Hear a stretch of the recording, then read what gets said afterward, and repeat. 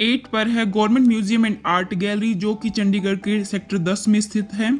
और यह museum and art gallery tourist के बीच में बहुत ही ज़्यादा फ़ेमस है। यहाँ पर गंधारा के पत्थरों की मूर्तियाँ, पाषाण काल के पत्थरों की मूर्तियाँ और शिल्प कृतियाँ देखी जा सकती हैं। यहाँ पर एक रेफरेंस पुस्तकालय भी है, जिसमें पाषाण काल से जुड़ी हुई 6000 पुस्तकें देखी जा सकती हैं। नंबर सात पर है जाकिर हुसैन रोज गार्डन जो कि 1967 में बना था और ये अपनी तरह का पूरे एशिया महाद्वीप में सबसे बड़ा गार्डन माना जाता है।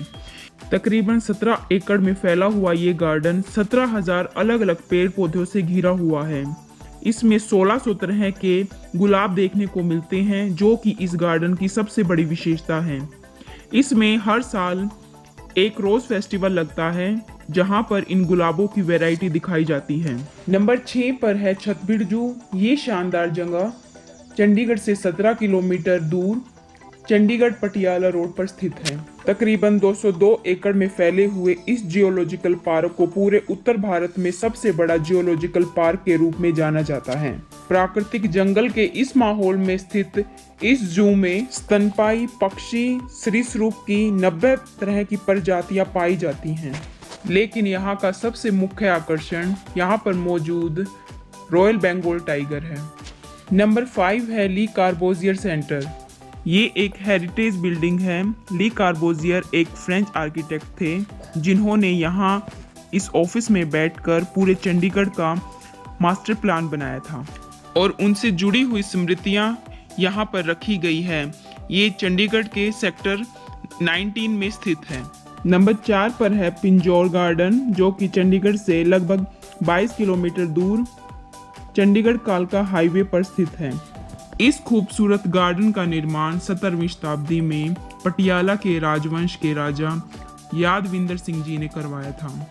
इसीलिए यह जगह यादविंदर गार्डन के नाम से भी जानी जाती है। लेकिन पिंजौर में स्थित होने के कारण यह जगह पिंजौर गार्डन के नाम से जानी जाती है। नंबर तीन पर है चंडीगढ़ का एलांटे मॉल।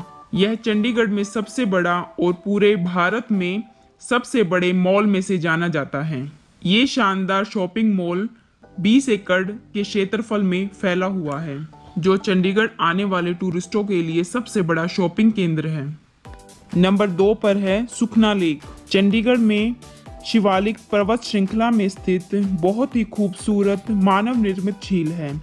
जो कि तीन किलोमीटर के दायरे में फैली हुई है। यहाँ पर एशियन रोइंग कंपटीशन का आयोजन किया जाता था। साथ ही साथ यहाँ अन्य वाटर स्पोर्ट्स को भी खेला जा सकता है। यहाँ पर शांत और खुशनुमा माहौल के चलते पर्यटक यहाँ पिकनिक के लिए बोटिंग के लिए और मेडिटेशन के लिए आते हैं।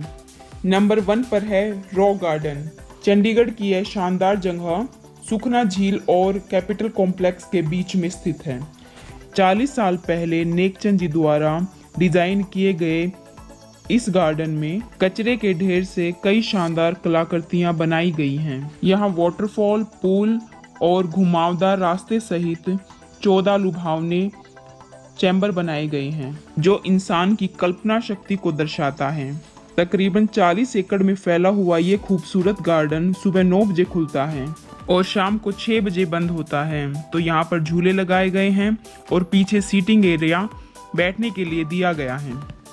अगर जो लोग चंडीगढ़ आना चाहते हैं आई होप उनको इस वीडियो से काफ़ी इजी रहेगा और ये टूरिस्ट प्लेस हैं जो आप यहाँ पर चंडीगढ़ आने के बाद घूम सकते हैं। आई होप आपने वीडियो को एंजॉय किया होगा। अगर ज़रा सा भी एंजॉय किया हो तो प्लीज़ लाइक शेयर और सब्सक्राइब ज़रूर करें। उसके बाद आता है एक बेल आइकन उसको ज़रूर प्रेस करें। तो मेरी आने वाली वीडियो की नोटिफिकेशन आपको सबसे पहले मिल जाएगी। Thanks for watching me and my channel bye bye